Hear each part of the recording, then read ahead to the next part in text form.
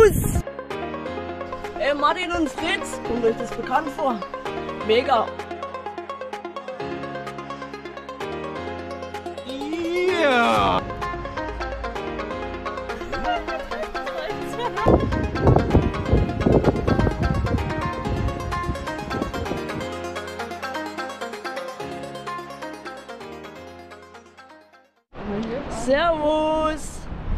Glaube, ich spinne mal irgendwie ein halbes Jahr rumplan. Und jetzt plötzlich stehen wir da vor dem Wasserfall in Paul de Mar. Der ganze Scheißding da, wenn wir hochlaufen.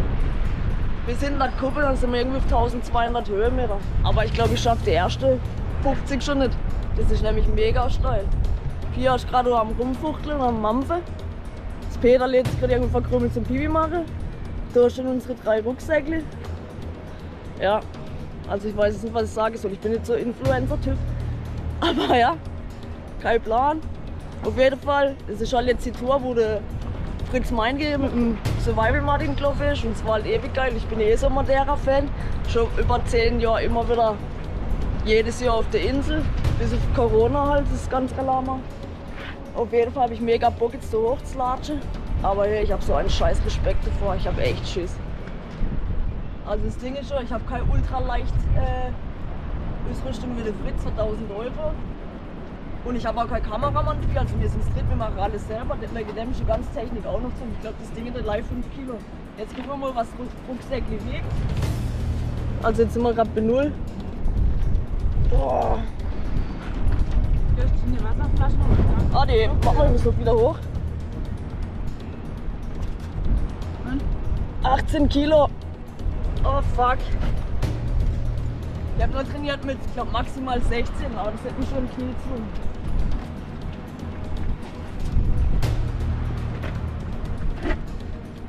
Was haben wir da? 16? Ah, Schnund. 16,5. Okay, durch, durch. Was haben wir? 14,2. 14,2. Also okay, Paul de Mar, da ist jetzt der Startpunkt am Hafen. Wir laufen jetzt eben die Steilklippe da hoch. Das ist da ungefähr. Dann passieren wir das kleine Kaff, das Dorf Madeira. Und hinterrum gehen wir da Richtung Pass Hochstraße und dann da hoch. Das sind jetzt ungefähr 11 11,5 Kilometer und da irgendwo wird dann unser erstes Nachtlager sieht. Am zweiten Tag gehen wir da runter. Und eigentlich war geplant ein alle Krim.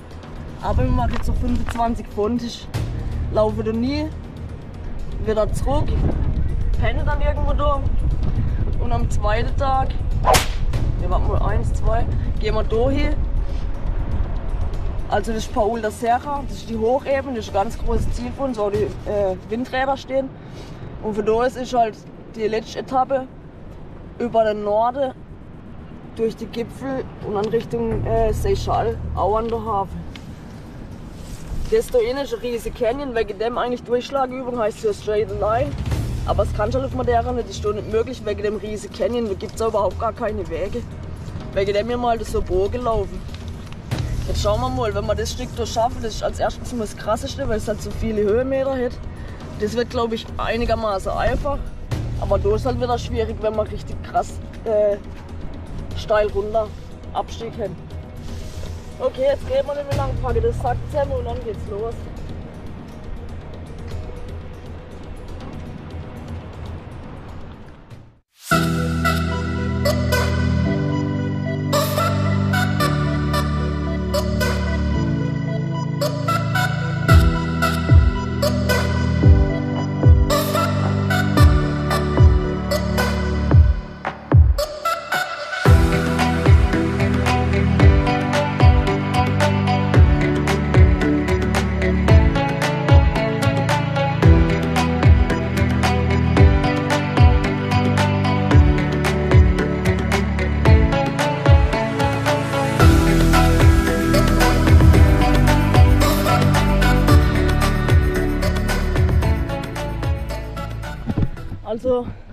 Bin schon komplett fertig und am Eimer. Nach 10 Minuten schon nass haben das kracht.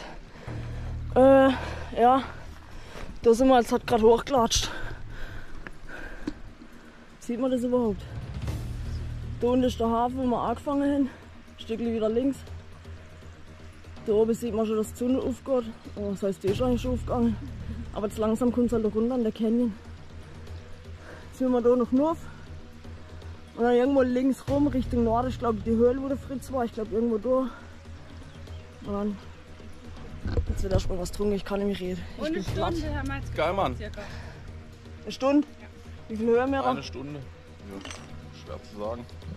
Hälfte. Gruß an Martin, geile Filter.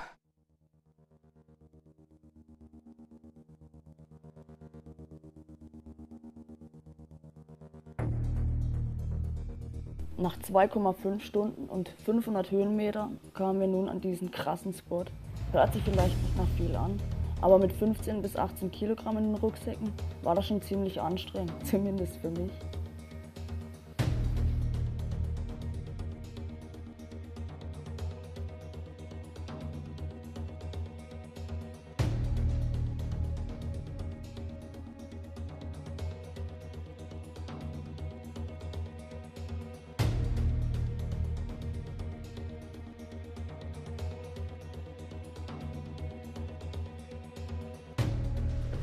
Also da geht's echt richtig krass steil hoch.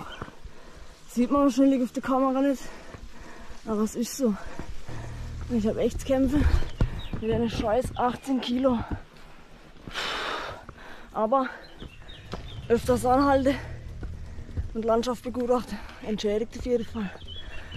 Also gut, ich kämpfe immer weiter bergauf.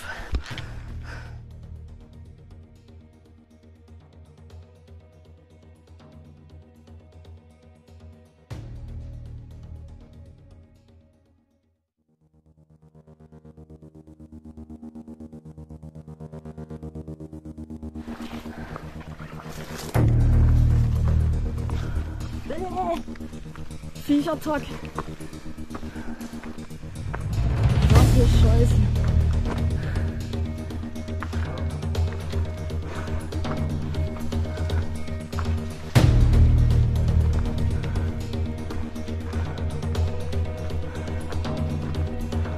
Richtig Tunnel. Guck mal, der ganze Weg haben wir uns hochkämpft.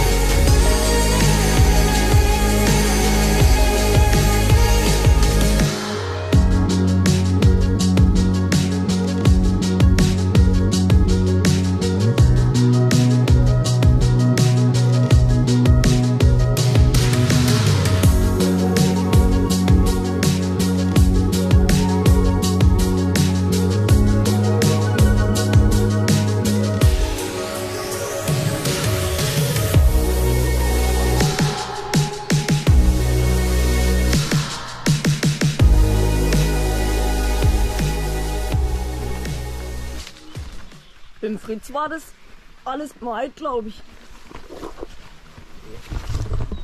Hey Fritz, was geht ab? Du hast schon noch Sonderkommando geholt, wo er den Weg frei gemacht hat. Also bei uns ist alles extrem dicht.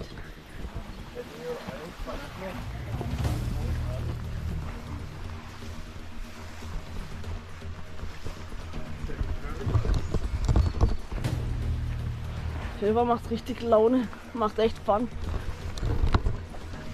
Du End of the Road oder was?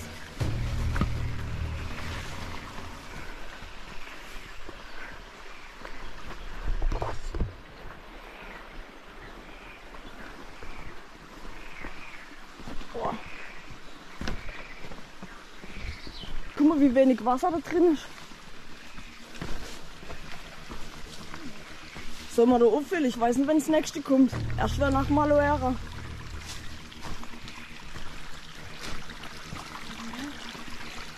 Bei denen im Video war da ewig viel Wasser, bei uns ist nichts. So, Wasserfilter raus auffüllen. Könntest also was trinken. Du hast richtig, du hast richtig Urwald. Und fast kein Wasser, richtiges kleines Gletscherwasser. Und Martin, da gibt's die Zuckerrohr. Aber ich habe eine weiße Voraussicht. Zwei so Bengel mitnehmen. Blub, blub. Sieht super aus, was du da für eine Figur machst. Oh ja. Das war das wieder ganz voll. Setzt sich so zusammen. Mal. Egal, kann ich ja nochmal. Und jetzt ins Fläschchen hin. So, und dann muss ich drücke, drücke, drücke. Ja. Und dann denke ich mir, das Ding verrisst. Wieso kannst du das Ding nie ballern? Auch nicht mehr wie, wie ich. Aber das sieht So, und dann? aus. Wo ist das Scheißding da drauf? Guck mal, wie wenig mal- da durchgeht. Ja. Das Schlückle. Das ist echt, äh, schon der. Ja, komm, dann nimm halt auch noch, scheißegal.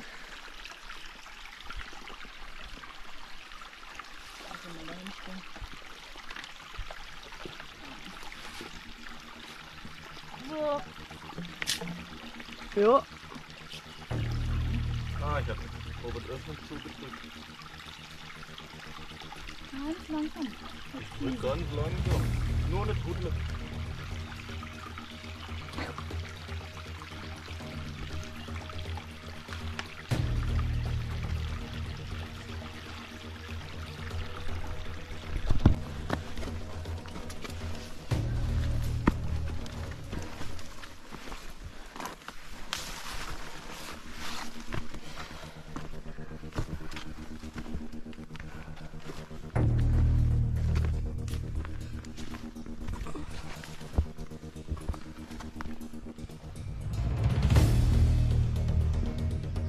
Martin und Fritz, kommt euch das bekannt vor?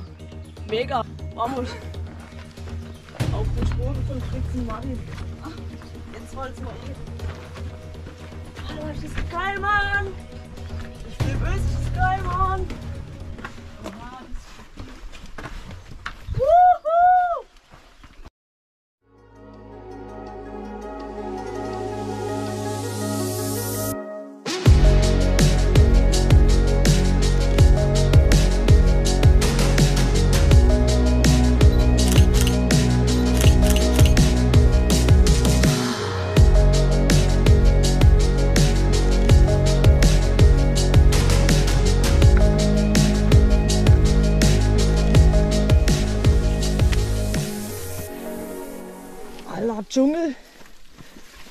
Scheiß dagegen.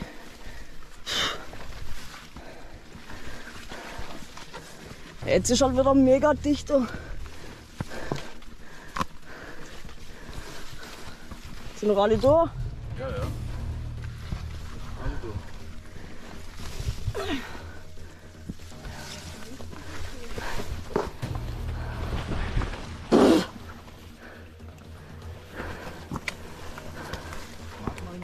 Ja.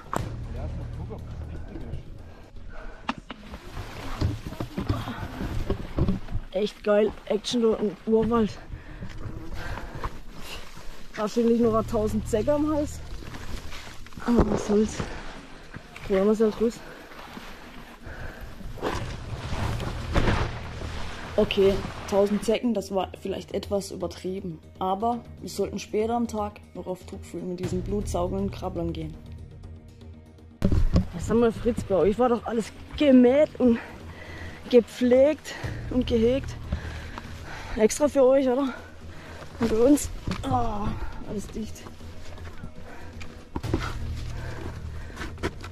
Watch your step. Wir sind die anderen zwei. Ja, Fotosession.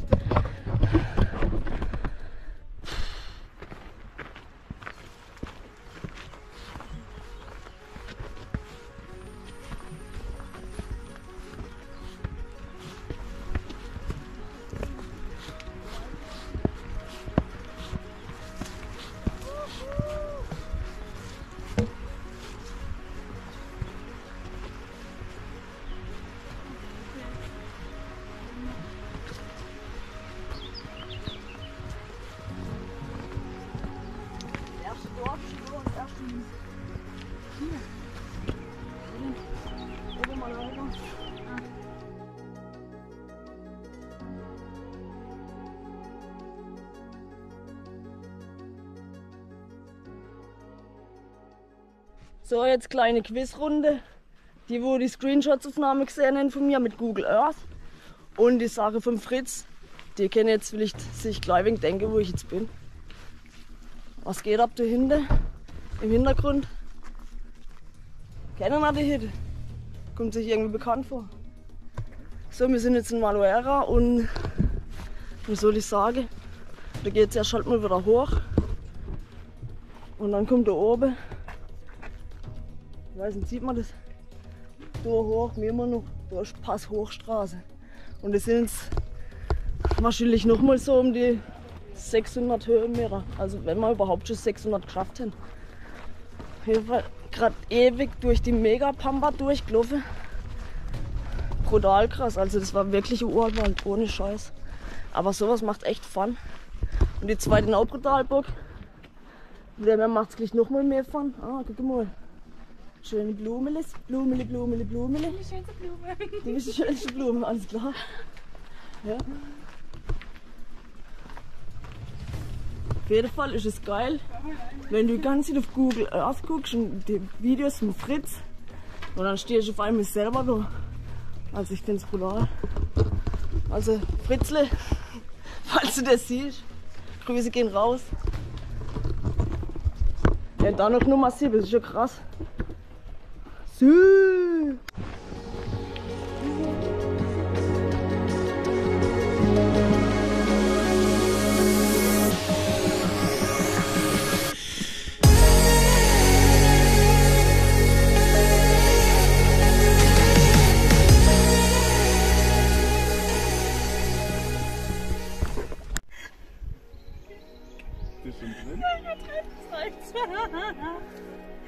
Wie war das mit Öl wie Ölsardinen? Brutal.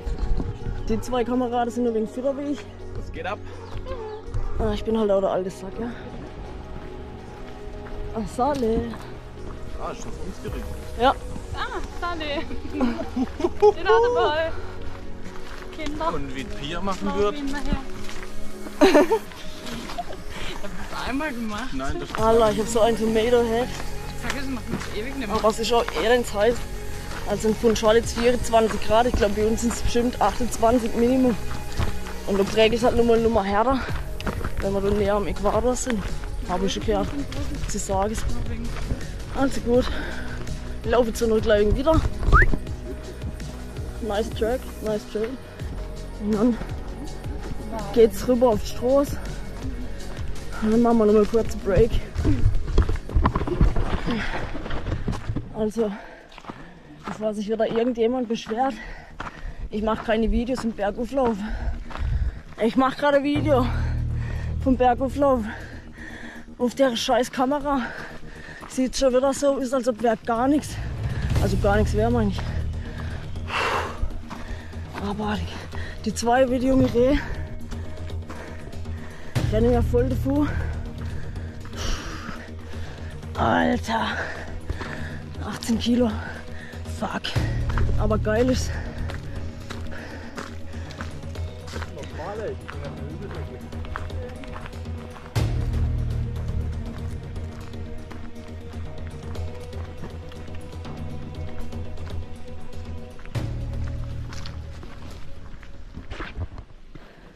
So, jetzt guck mal, was wir da oben sehen.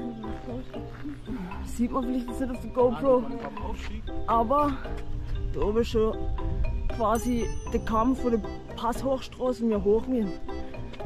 Unsere ist aber irgendwo da rechts und er liegt noch gleich wegen höher. Also laufen wir gleich wegen weiter. See you Alligator. Warum wiegt mein Rucksack 18 Kilo? Wir laufen die Tour autark und daher ist einiges an Nahrung für drei Tage dabei.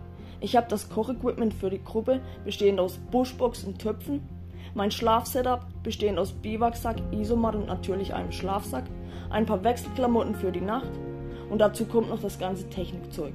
GoPro, Drohne, Ersatzakkus, Powerbanks, Solarpanel.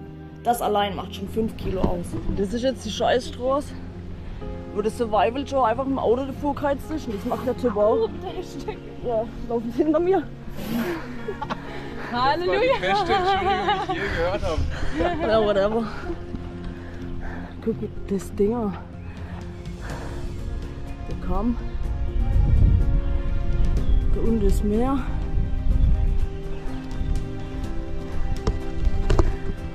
Also, wenn ich gleich wegen mir trainiert hätte, wäre ich vielleicht auch wegen fitter. Zwei Wochen vorher aufgehört mit Rauchen.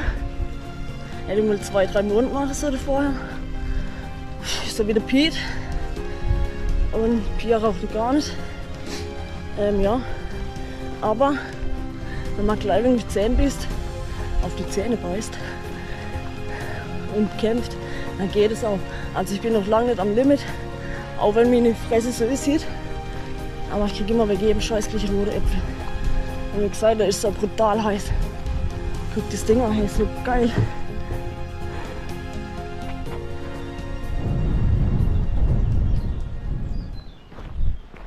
So, aber jetzt bin ich echt mal gespannt,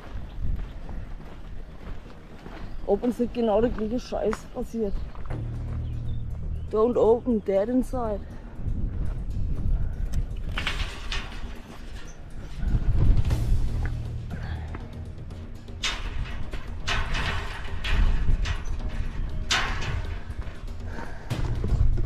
Also keine Ahnung, was jetzt abgeht. Willst du Weg finden oder nicht? Schauen wir mal. Ich hoffe, wir laufen ins Dead wie Fritz und Martin. Also bis gleich. So, Pause. Zeit für Bergsteigerdöner. Peter auch einer. Mahlzeit. Peter auch eins. Zwei. Ganzes, ganzes Ding voll. Hallo Bäckerei. Mhm. Jetzt langsam fängt es auch an mit Schmecken. Also alles Power. Ja, total nicht, aber schon bin. Scheiß Hitzschlaucht. Auf jeden Fall haben wir es geschafft, am Dead End vorbeizulaufen. Geile Aktion.